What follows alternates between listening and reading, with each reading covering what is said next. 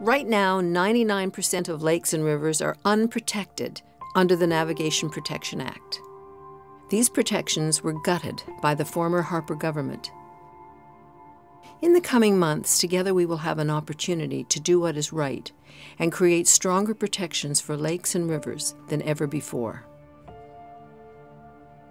The Navigable Waters Protection Act is one of Canada's oldest pieces of legislation. It was put in place so that it would protect people's right to navigate waterways and, and it consequently protects waterways from industrial projects like logging, mining, pipelines and so forth.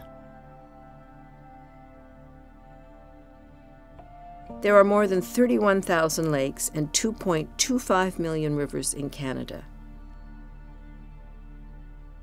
There are only 97 lakes, 62 rivers, and three oceans that are currently protected by the Navigation Protection Act. The Harper government had removed protections from 99% of the lakes and rivers in Canada and, and exempted pipeline reviews and transmission line reviews from the Act. Many pipeline, mining, large dam, power line, and fish farm projects are being given the green light without adequate assessment of how they will affect lakes and rivers. So there are projects like the Ajax mine uh, just outside of the city of Kamloops that's going forward with parts of it not being reviewed by the, the federal government.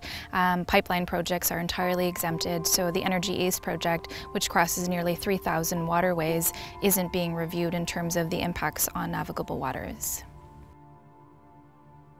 The impact on Indigenous communities is really that they are cut out of decision making. And so the, the changes were made in a way that free prior informed consent was not obtained. We must work with Indigenous peoples to protect every lake and every river. We must also recognize Indigenous peoples as the original peoples of this land that have unique laws, cultures, traditions, and rights that must be recognized and respected. The Council of Canadians would love to see the, the freshwater protections not only restored but enhanced as well. We want to see the human right to water and Indigenous rights protected. I think if enough people talk to their members of parliament then, then they'll have to act.